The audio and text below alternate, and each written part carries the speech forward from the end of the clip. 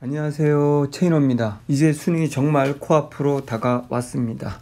그래서 많은 학생들이 예열 지문을 부탁을 해서 제가 예열 지문을 올리는 겸 아, 올해 수능 독서 영역은 어떻게 출제될 것인지 그 방향성을 말씀해 드리도록 하겠습니다.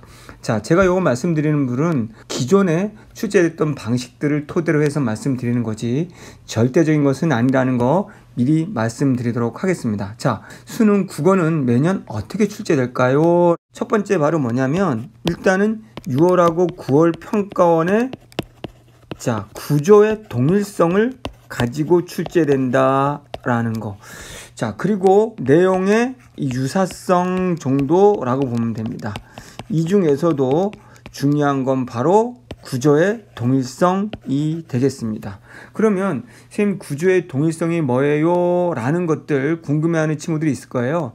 자, 제가 이 우리 영상은 제 강의를 듣든 안 듣든 모든 학생들이 시험을 잘 보라 라는 마음에서 하는 거기 때문에 구조의 동일성이 뭔지 다시 한번 소개해 드린다면 자 예를 든다면 6월 모의고사 한번 볼게요 인문 지문부터 본다면 가나 결합형이 있었고 한 번은 그리고 9월에서는 그냥 단독 지문이 나왔습니다. 여기서 우리가 중요한 포인트가 바로 뭐냐면 지문의 구조성이죠.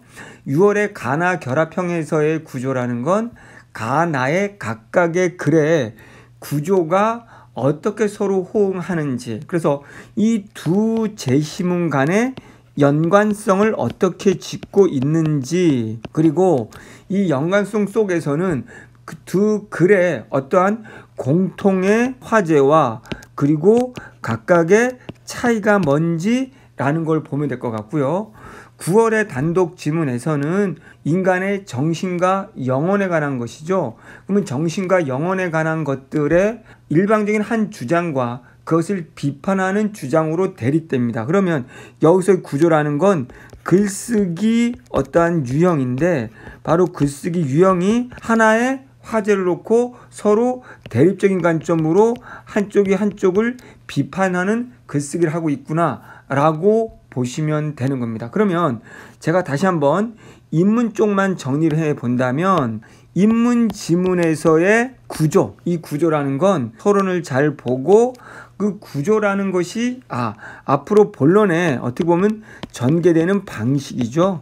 그래서 그 전개되는 방식이 가나형일 경우는 우리는 비교라고 하면 되고 두 번째 단독 지문일 때는 서로 간의 비판형의 글쓰기 구조다라는 걸 알아야 된다는 거죠. 그래서 제가 예열 지문에서도 인문 지문은 되도록이면 비교 두 개 결합형과 비판형의 구조를 갖고 있는 것들을 봤고요.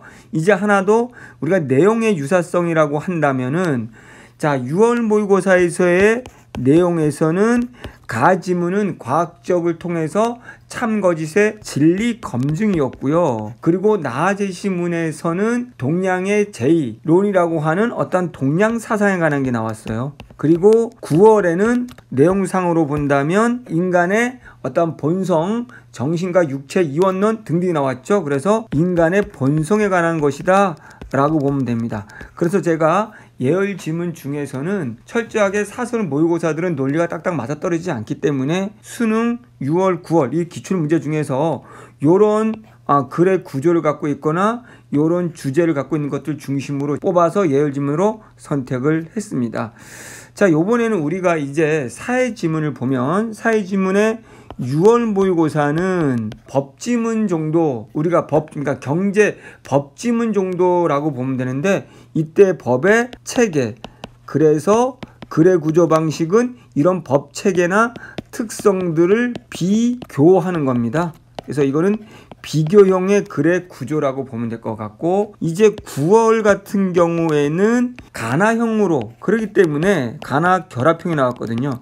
이걸 통해서 인문 지문이 반드시 결합형이 나오거나 사회 법 지문이 결합형이 나올지는 아무도 모른다는 거예요.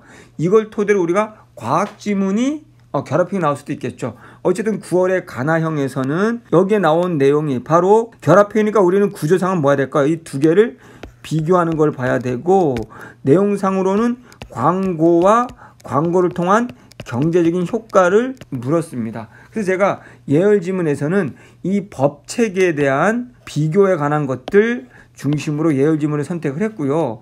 그런 다음에 9월과 유사한 지문으로는 광고보다는 이 경제, 이 경제를 통해서 인과관계라든가 높다 낮다 상대적 서술어 중심으로 정리되어 있는 그런 거 중심으로 묻고 있는 지문들을 선정을 해서 보여드렸습니다.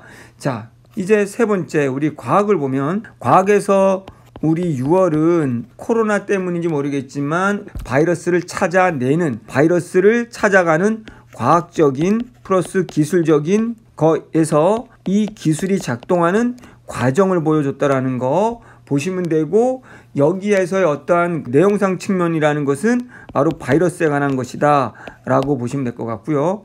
자 9월에서는 역시 똑같습니다. 최근에 어떤 과학기술 중에 그래서 메타버스라는 게 나왔는데 역시 이것도 메타버스가 어떻게 작동하는지의 과정의 글쓰기인 겁니다.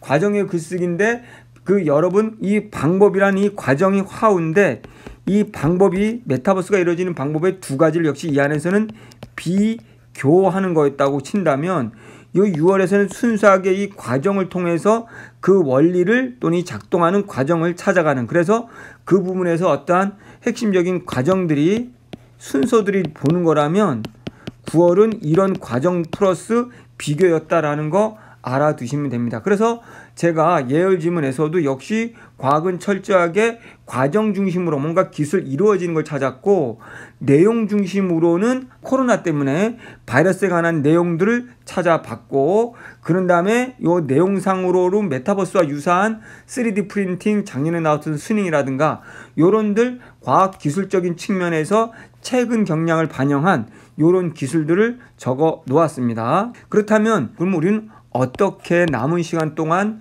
독서를 할 것인가. 지금처럼 6월, 9월의 논리적 구조를 글쓰기 구조죠. 철저히 분석하고 일단은 익히는 겁니다. 그래서 새로운 지문을 많이 보기보다는 기출문제랑 좋은 그 지문들을 그 구조를 내 것으로 만들어서 수능 날은 정말 첫 문장만 보고도 본론의 내용이 술술 익혀질 수 있도록 그렇게 익히는 게 중요합니다. 이 논리적 구조를 통해서 제가 눈이 말하는 거지만 서론에서 앞으로 어떻게 전개될 것인지를 예측하고 그 예측은 분명히 각 단락의 첫 문장을 기준으로 또 예측하면서 그것들을 토대로 핵심 문장과 아닌 문장을 선별하고 선별하는 것들 그런데 요즘은 그 과정이라든가 비교 등이 복잡합니다. 그러면 이 비교할 때도 각각의 항목의 범주별로 차근차근 비교 범주가 눈에 보이도록 요약 정리하면서 독해할 수 있는 힘을 키우면 될 것 같습니다. 자, 우리가 한 번쯤은 다 풀어봤을 문제들, 지문들을 제가 다시 한번 6월, 9월에 맞춰서 선별해서 선정을 했으니까 여러분들 꼭 이걸 가지고 열심히 노력을 해 보시고 지문까지 완벽히 아, 분석을 해 놨으니까 요것들 토대로 여러분들 꾸준히 읽기 연습을 하면 될 것 같습니다. 자, 어떤 내용이 나온다라는 건 아무도 모릅니다. 저도 그동안 6월, 9월 모의사를 토대로 수능들이 이렇게 유사하게 나오네.